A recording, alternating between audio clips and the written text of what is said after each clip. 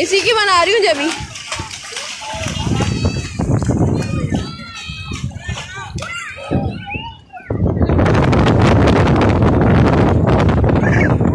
कपड़े पूरे गीले हो गए उसके।